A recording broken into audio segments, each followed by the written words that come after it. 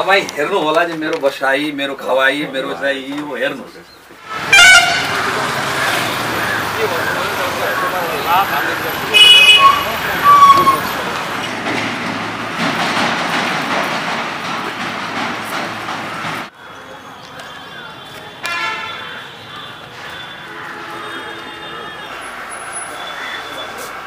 किनभने हिजो मिडियाले कतिमा के गर्यो भनेर सुनिरहेको थिएँ मैले भनेको दुल्दा जान्छ यो त एउटा अर्को कुरा है। र तपाईँलाई म हेर्छु है हामी किनभने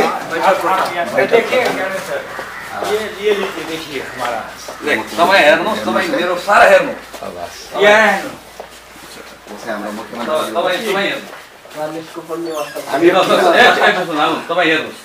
मुख्यमन्त्री तपाईँ न्युजमा पढ्नुभयो होला आज छवटा गाडी चारवटा मेरो यहीँ छ सबै।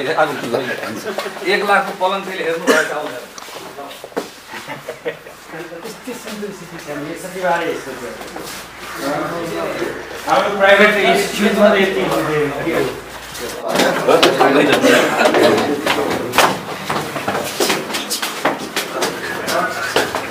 ये धोखा है गलत धोखा हाँ साथियों यो हाम्रो मुख्यमन्त्रीको चाहिँ तपाईँ कस्तो यही मुख्यमन्त्रीको यो बस कस्तो भिआइपी छ हेर्नु आ, आऊ, यहाँ यहाँ आऊ। एक वर्ष होइन। होइन यसले क्याबिनेट हुन्छ कहिले भने हुन्छ त ल ल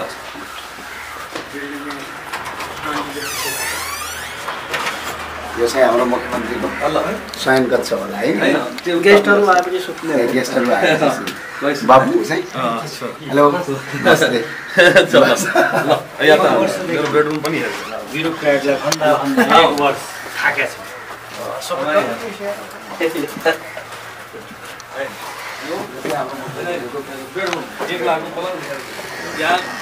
झुठो कुरा गरेर मान्छेलाई कसैलाई। होइन भने कुनै व्यक्ति कसैले केही लेख्छ भने हेर्नुहोस् यो यही छ। भन्दाखेरि तपाईँ हेर्नु होला जे मेरो बसाइ मेरो खवाई मेरो चाहिँ यो हेर्नुहोस्। यो त हेर्नु पर्ने मेरो देखाउनु पर्ने आवश्यक थिएन। तपाईँ जानिहाल्नु पर्छ नि ल ल। है यो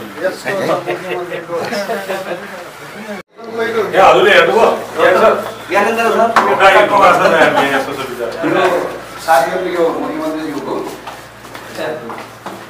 यो बात यो ठुलो समाचार नआओस् त हजुर आज प्रतिवाद हुनुहुन्छ एउटा फोटो खिचौँ है यो कुरा अर्को एउटा कुरा के थियो भने हजुरको यो सांस्कृतिक धार्मिक क्षेत्र संरक्षणका र प्रबन्धन सम्बोधनका लागि भनेर चालिस करोड छुट्याइएको छ। तर यहाँ जानकी मन्दिरको आसपास भयो र त्यसपछि यो राम सर्किट निर्माण भनेर चालिस करोड छुट्याइयो यो चाहिँ तपाईँको यो राम सर्किट यो जानकी राम सर्किट बनिसक्यो। प्रदेशको बजेट मन्त्रालय अब डिटेलमा उहाँले थाहा मलाई लाग्दैन कि त्यो खर्च भयो होला। अब विभिन्न कारणले पनि होला तर विभिन्न कारणले कर्मचारी अभाव कर्मचारी अब सुरुका दिनमा मिसन म्यान पावरको प्रदेश दुईमा यसै पनि कर्मचारीहरू थोरै भएको कारणले पनि धेरै हामी बजेटलाई गर्न सकेनौँ। किन भन्दाखेरि हामी पोलिसी सुरुकै दिनमा ल्यायौँ प्रोग्राम पनि ल्यायौँ बजेट पनि एलोके बजेट त एलोकेसन त जनप्रतिनिधिले गर्ने के अरे कार्यान्वयन त गर्ने जनप्रतिनिधिले त पोलिसी प्रोग्राम र त्यो बजेट दिनु विभिन्न कारणले त्यो चाहिँ अब सम्बन्धित मन्त्रालयमा गएर अलिकता एउटा कुरा छोटो समयलाई समय यो कर्मचारीको अभाव छ भनेको के केन्द्रले प्रदेशलाई कर्मचारी उपलब्ध गराएको छैन यसको समस्या। कर्मचारी थोरै छ। कर्मचारी आवश्यकता जस्तो कि ओएनएम गरेका उनीहरू आफ्नो ओएनएम अनुसार पनि कर्मचारी। त्यसमा पनि प्रदेशले त एकदमै अहिले आएर अरू हुन त कर्मचारी कोही मात्र गरेका तर अहिले आएर बरु सचिवहरू अलिक अलिकता पुरानो एक्सपिरियन्सहरू बताए सुरु सुरुका दिनहरूमा त, यहाँ त एउटा मन्त्रालयमा जान्ने हो तिन वर्षभित्र छवटा सातवटा सचिव सबै एक महिना ढिलो गरेर आउनु हो। तपाईँसँग सचिव नै नभएपछि अब सुरुका संरचना अझ बढी हामीलाई चाहिने पर के म्यान पावर, अलिकता नयाँ संरचना पनि कर्मचारी नहुनु गाह्रो कर्मचारीहरू छ। यो अलिकति हजुरको इन्टरभ्यू बेला बेला हामी सुन्ने गर्छौँ। आज अलिकति। केन्द्रले प्रदेश मन्त्रीलाई अत्याधिक विरोध गर्यो भन्ने कुराहरूलाई सुनिरहेको अहिले त्यो प्रवृत्ति छ। प्रवृत्ति त धेरै छ अब डिटेलमा के तर चाहिँ हामीलाई समयमा कर्मचारी कर्मचारी कमिटीको सुरुवात गर्नु बजेटमा पनि तपाईँको जुन हिसाबले बजेट एलोकेसनकोमा पनि हेर्दाखेरि न्यायोचित छैन हाम्रो छ अनि एउटा अर्को कुरा यो वीरगञ्ज र जनकपुर तथा जनकपुर राजगीर बस सेवा गर्ने सरकार प्रदेशले बस सेवाका लागि छ करोड रुपियाँ बस सेवा भइसकेको छ त्यहाँ बस किनेर राखेको छ किन राखेको छ त्यहाँ चाहिँ अब सम्बन्धित मन्त्रीलाई डिटेलमा कहाँसम्म हुन्छ हुन्छ मुख्यमन्त्रीज्यू मुख्यमन्त्रीज्यूलाई एउटा एउटा सानो एउटा लास्ट कुरा यो कारण किन भन्नु यो खेत खेतमै पानी खेत खेतमै पानी हात हातमै काम भनेर एक अर्ब एघार करोड छुट्याएको छ सिँचाइहरू भइरहेको छ के छ।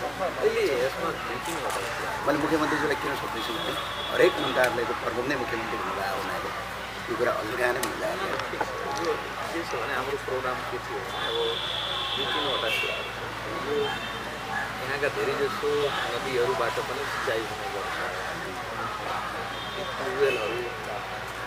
ती ट्युबवेलहरूबाट पनि हाम्रो प्रोजेक्ट सेलो दोस्रो अब यहाँ सिँचाइको तपाईँले सुविधा छैन तपाईँले उत्पादन के हुन्छ त्यसैले हाम्रो के थियो भने मानिसहरूले यसको उत्पादन उत्पादन हुने ठाउँ र त्यो पनि के भन्छ काम गर्न नसक्ने अहिले व्यक्ति पाउन किनभने सबै माइग्रेसनमा जान्छ सबै विदेश गइरहेको छ त उनीहरूलाई यहीँ चाहिँ जग्गामा यदि हामी सिंचाई उपलब्ध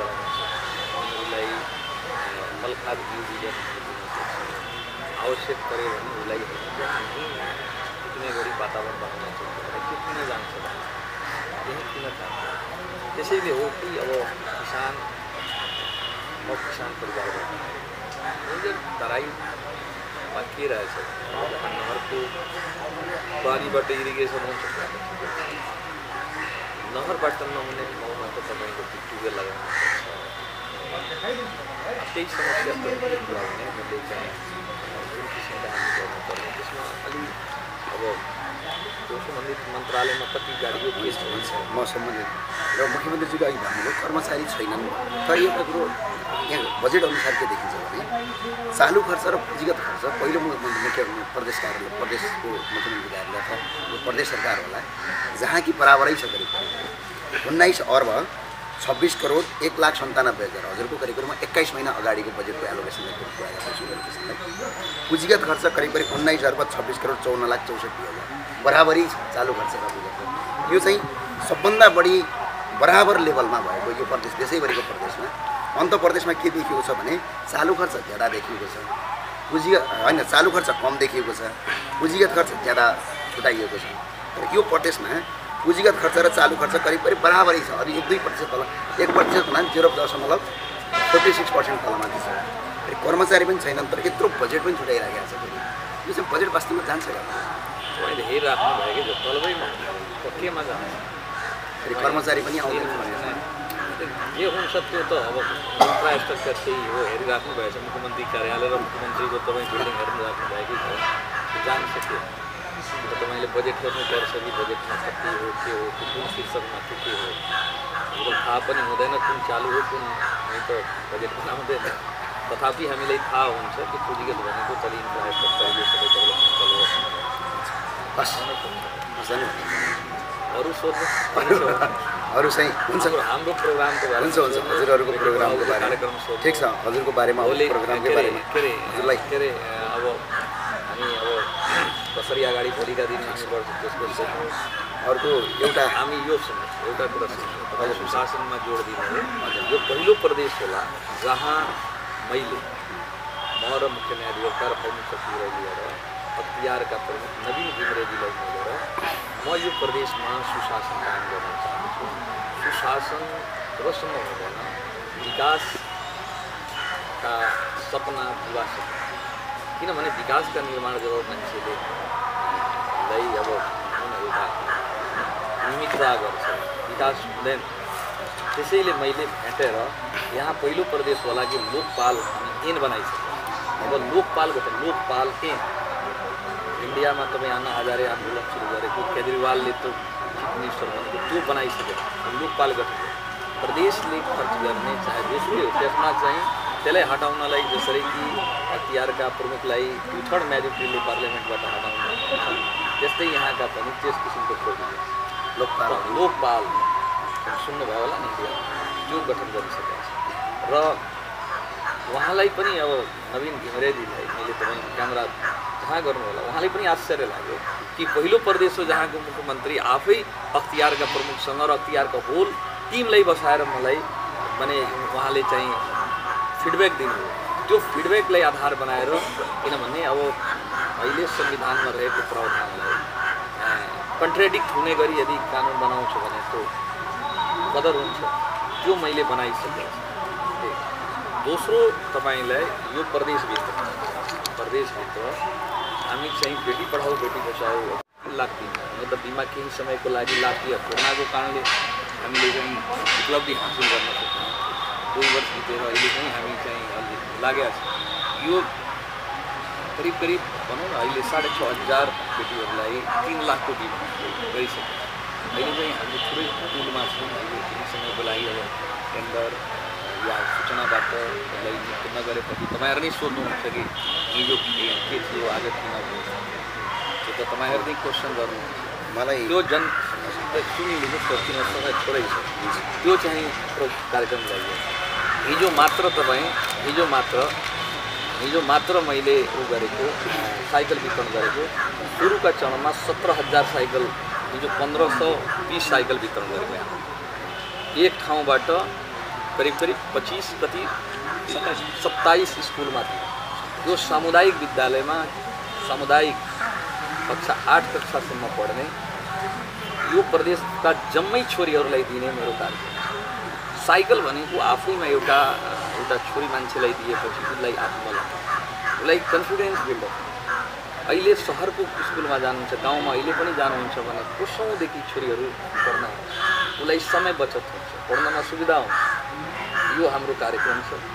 अब तपाईँ सोध्नु यसपालि त्यो सूचनाबाट हामी पन्ध्र करोड रुपियाँ छुट्याएको थियो चार करोड रुपियाँ थोरैमा टेन्डर भएर गयो त्यो सूचना गर्नु। धेरै एउटा साइकल तपाईँको सन्ताउन्नसम्म छ। कुनै पनि मार्केटमा खोजिलिनुहोस् कतिमा साइकल। त्यो लेख्नुपर्छ तपाईँ आँक्नुपर्छ जे प्रदेश दुईले गरेको राम्रा कामहरू त्यो गएर। मार्केटमा खोज्नु हामीले त्यो कम्पिटिसनमा बिडिङ गरेका छौँ। कुनै पनि काम अहिले पनि हामीले गरेका विभिन्न योजनाहरू छन् पोखरी सौन्दर्यकरणदेखि लिएर।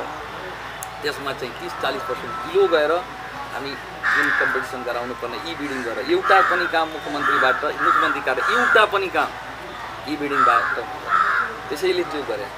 अहिले चाहिँ यही समयपछि छोरीहरूलाई ल्यापटप दिने मैले वितरण गर्ने छ सबै यो जिल्लाहरू कमसेकम एक जिल्लामा नभए पनि हामी आठ जिल्ला छ। कमसेकम पाँच सौ छोरीलाई दियो भने ल्यापटप भनेको एउटा कन्फिडेन्स बिल्डअप गर्छ। एउटा हातमा छोरीको मान्छेको परेपछि उसलाई त कमसेकम हुन्छ कि म ल्यापटप चलाउन सक्छु। ल्यापटप चलाउन सक्छु। म कम्प्युटरमा हात पर्ने बित्तिकै उसलाई जबको कहीँ न कहीँ उसको कनेक्सन बढ्छ। र त्यति मात्र होइन पहिलो प्रदेश हो जहाँ महिलाहरूलाई पचास पर्सेन्ट सिट आरक्षण गरिएको छ। प्रहरी र प्रशासन निजामती ऐन बनाइसके प्रदेश प्रहरी ऐन बनाइसके। हामी भर्ना गर्छौँ। मेरो सपना छ कि बाह्रदेखि पन्ध्र वर्षमा तपाईँ जुनसुकै कार्यालयमा जानुहुनेछ त्यो कार्यालयमा तपाईँ पाउनुहुनेछ छोरी कि त पहिलो अफिसर हुन्छ कि दोस्रो अफिसर हुन्छ। यो प्रदेशको यति मात्र होइन तपाईँको दलित सशक्तिकरण बनाइसक्यो त्यो पहिलो प्रदेश हो। दलित दलित सशक्तिकरण अहिले दलित विकास समिति गठन गरिसक्यो र यो पहिलो प्रदेश हो जुन जातिको जति सङ्ख्यामा छ सङ्घले पनि सिक्नुपर्ने हो यो जतिको जनसङ्ख्यामा छ त्यतिको रिजर्भेसन हामी गरेका छौँ। यो जनसङ्ख्याका आधारमा। इभेन खस आर्यलाई तपाईँले यो जनसङ्ख्याको आधारमा यो प्रदेशको रिजर्भेसन गरेको जनसङ्ख्या भन्दाखेरि चाहे महिला पचास पर्सेन्ट आरक्षण दलित अठार प्रतिशत अठार प्रतिशत तपाईँको मधेसी अब टोटलमा विभिन्न जातीय समुदाय मिलेर त्रिपन्न छ। र अन्य सेन्टरमा जाने हो भने तपाईँको पैँतालिसलाई सौ मानेको छ नि आरक्षणमा। हामी उनपचासलाई मानेका छौँ। कर्मचारीहरूलाई सिक्सटी सङ्घमा अन्ठाउन्न छ। हामी साठी वर्षमा जुन रिटायरमेन्टको प्रोभिजन ऐन बनाइसकेका छ। लोकसेवा काम लोकसेवा ऐनबाट गठन गरिसकेका छ। प्रदेश तपाईँको पोलिसी एन्ड प्रोग्राम जुन नीति आयोग छ कमिसन छ। त्यो चाहिँ ऐन बनाएर पहिलो मलाई लाग्छ नि अन्य प्रदेश होला जहाँ ऐन बनाएर त्यो गठन गरिएको छ।